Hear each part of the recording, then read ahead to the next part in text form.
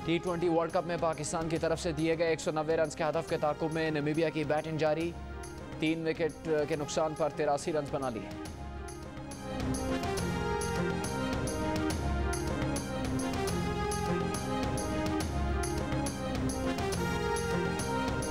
वज़ीर अजम इमरान खान ने कल अदम तंजीम के मामले पर काबीना अरकान को बात करने से मना कर दिया। काबीना अजलास में बताया कि यह हसास मामला है। स्टेयरिंग कमेटी ही यह मामला देखेगी। मामला खुश असलूबी से हल हो रहे हैं।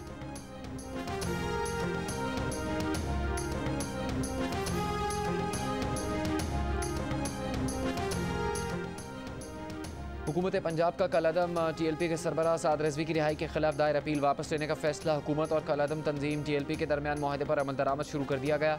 पंजाब भर में नक्स के तहत तमाम नजरबंद अफराद को रिहा कर दिया गया।